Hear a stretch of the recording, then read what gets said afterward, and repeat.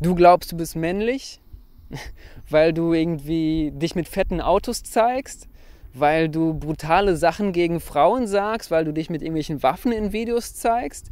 Denkst, das macht deine Männlichkeit aus? Zieh dir mal einen Rock an, lauf damit mal durch die Straße und dann bleib standhaft, ja? Bleib bosshaft, Kollege. Hä? Kannst du einen Rock tragen oder verlierst du deine Männlichkeit, wenn du die Hose runterlässt und einen Rock anziehst? Genau, Rock and Roll Challenge. genau, also wer Bock hat, der kann sich mal so einen Rock anziehen.